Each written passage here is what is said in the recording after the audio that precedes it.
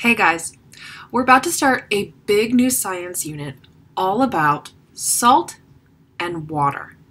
And the thing about salt and water is we think of them as common everyday things that we use all the time and we take them kind of for granted. You might think that salt looks like this. Or some of you might have seen salt that looks like this. But did you know that salt can look a lot of different kinds of ways? Right? Look at all the different grains and textures in there. You might think that those all look like different kinds of things. If they were rocks, you would think that's different kinds of rocks.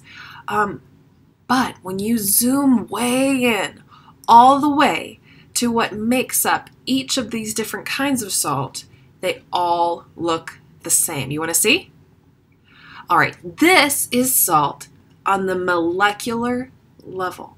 Now, you may not have heard that word before, molecule, or maybe you have and it kind of means something, maybe something like really small, and that's a good working definition for now. All of these different circles, these spheres, the green and the gray, represent the very smallest unit of what makes up everything that we see. And we call those atoms and molecules. And so right here we have salt. And what do you notice about the shape that we see? Notice it's not a round ball shape, it's a cube shape. And that makes sense because when I look at it, it looks like a cube, not round. Even the different varieties here have kind of a jagged edge to them. They're not smooth and rounded. But this is supposed to be really small. How come that and that look the same?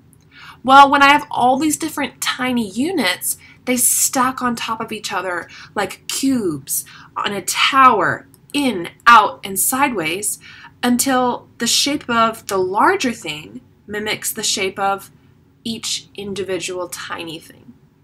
And why is some of it green and some of it gray? Well, we have studied as scientists all those individual mini spheres that you see, we're going to call atoms, um, and we've given them names because they're all a little bit different. Um, and the green, the big fat green spheres, are called chlorine, and the tiny gray spheres are called sodium. So when I combine them together, you might see that right here, that little gray has an Na, and the green has a Cl. Um, that's like a short code. That's like an abbreviation that scientists use for those two names. And so if you want to get really fancy, the way that scientists might refer to salt is NaCl or sodium chloride. All right, let's go ahead and talk about why salt is such a big deal. Why is it important? If you want food right now, you probably heading over to your glorious refrigerator and it keeps everything fresh and crisp and you can have pretty much any kind of food you want anytime you want, and it's wonderful. But we didn't always have refrigerators, and before we did, salt was one of the main ways we could preserve food. Did you know you can actually use salt to preserve fruit? Like this is lemons being put into a jar of salt.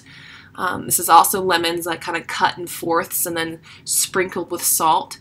Um, and then you can even preserve meat. This is uh, fish being salted to being to be preserved, and this allowed people to take food um, all the way across the country and transport it while it was still fresh and eatable on the other side.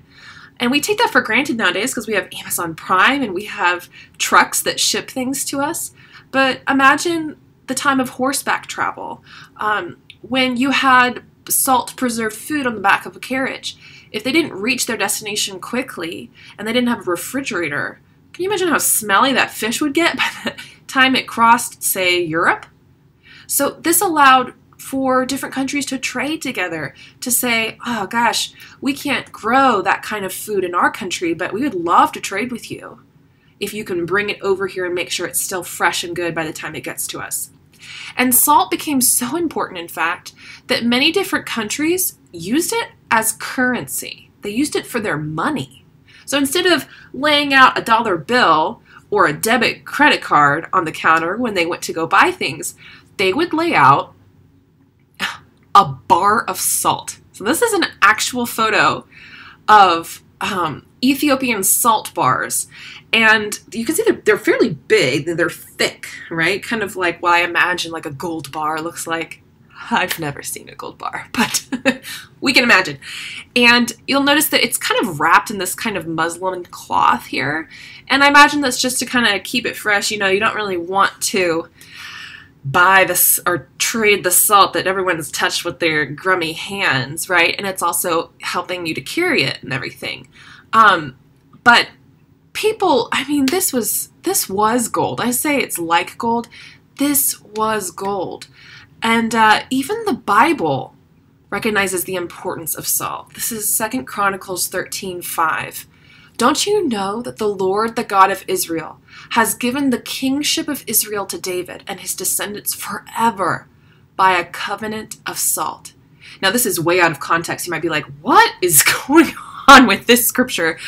Um, but the gist of it is that the king at the time, King Abijah, I'm sure I messed that up, but King Abijah is reminding um, the people of Israel that the covenant the promise that God has given his people is a covenant of salt. And by that, he means it's everlasting, it's unbreakable. That's how strong salt was um, in, in the culture and the lives of people at that time. And to be honest, I think it's just as strong today. I think we just kind of take it for granted because it's just everywhere. So, how do we even get salt? I know that I get salt by going to the grocery store, but how does it get there? I've never wandered in the woods and and seen salt on the ground. Sometimes I'll wander in the woods and see a plant. That makes sense to me. Can I grow salt in my backyard? Where does this even come from? Well, there are a couple of ways. We're going to look into it.